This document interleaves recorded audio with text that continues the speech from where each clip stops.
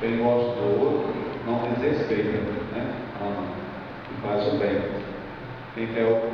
tudo aquilo que a gente quer para a gente, é fazer para os outros. A gente não quer maldade para a gente, a gente não quer nada de para vir para a gente. Nós não queremos para a vida da gente, a gente não quer para a vida do povo. Deve ser assim a lógica da vida. Então, Deus, Deus abençoe a vida de Érica e Solon no seu matrimônio. Peçamos a Deus as bênçãos para a vida do casal. O Senhor esteja convosco.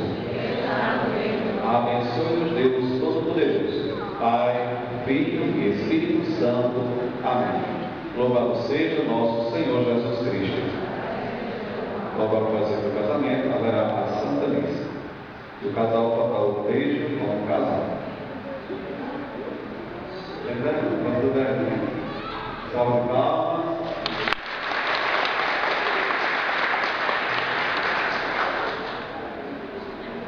Thank you.